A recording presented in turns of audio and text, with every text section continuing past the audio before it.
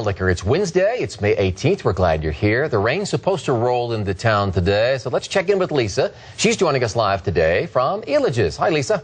Yeah, good morning. We're live from Elitch's, and so far, so good. It is a beautiful morning. We've got a little mix of sun and clouds this morning. No rain to speak of right now, but we're live here at Elitch's. We wanted to kind of take our little our little show on the road because show is on the road. If you're just joining us this morning, Sam Champion from Good Morning America is live here in Denver this morning. So you're going to see him on Good Morning America, and you can see them. They're set up right now behind us. Uh, they're just getting ready to do a live shot. In fact, I think he's just a couple of minutes away from going live for the East Coast. So it's been a lot of fun to talk to him throughout the morning and kind of see how they, they work it at Good Morning America.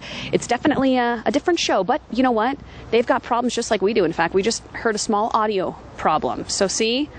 Even the local guys and the big guys get issues when it comes to live shots, but it's been a lot of fun. And we're going to talk to Sam coming up within just a few minutes. But so far, weather holding out nice. Last time he was out here live, we had a monster snowstorm, so I think he's enjoying this a little bit more. Temperatures this morning in the low to it looks like mid 40s in most spots. Denver right now 45 degrees. Fort Collins also 45, and in Boulder you're at 46. 30s for the mountains. So in the foothills where we get those temperatures dropping close to freezing. Next couple of days, you're again going to pick up a mix in the high country country, and some spots, some of those higher mountain passes, looking closer to about a foot of snow within the next couple of days. This is just kind of the beginnings of this next system. It's going to roll through, and within the next few days, we're going to pick up quite a bit of rain, and it's going to really start kind of picking up in intensity this afternoon as our temperatures stay in the mid to upper 50s. We'll see a chance for showers as you're heading home for the afternoon commute and throughout the evening hours. So around dinner time, expecting some heavier showers possibly right across that northeastern corner of the state.